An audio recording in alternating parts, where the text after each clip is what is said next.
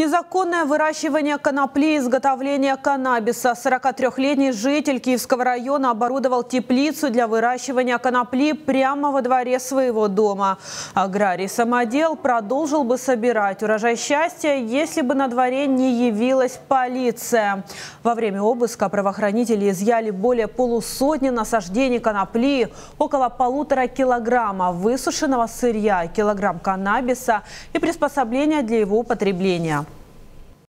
Дії правопорушника поліцейські попередньо кваліфікували за статтями 309 та 310 Кримінального кодексу України. Сейчас правонарушителя проверяют на причастность к сбыту наркотических средств, а также его возможные связи с дилерами. Дальнейшая судьба огородника решится после объявления результатов экспертизы изъятых веществ.